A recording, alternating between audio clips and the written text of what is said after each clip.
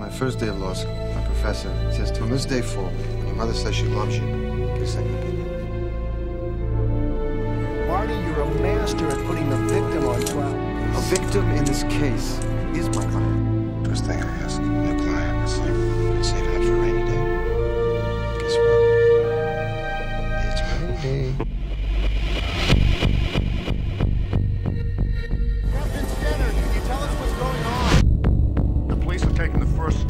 Steps, acting with speed and determination with the arrest. Archbishop Richard Rushman has left the city just now.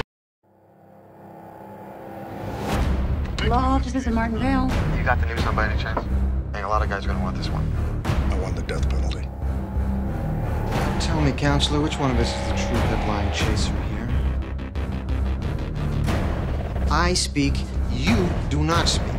Unlike you, I was assigned to this case. There was someone else in that room, Mr. Bay. Who's the third person? That's that's bullshit. Now it's our bullshit story.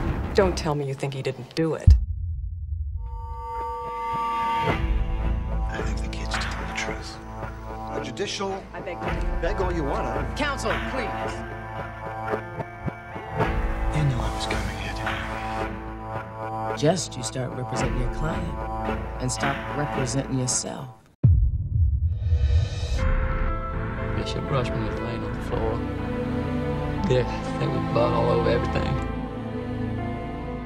It's a mistake to stick your thumb in the eyes of the most powerful people in the city. fuck are you? Objection, Your Honor.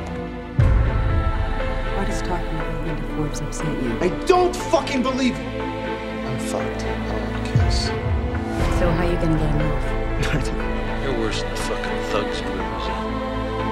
Fuck, Marty, you want my job? No, I want you to do your fucking job. I saw the tape. I know what he did to you. I would stab him 78 times with a butcher knife. Never, never, never, never. Bullshit.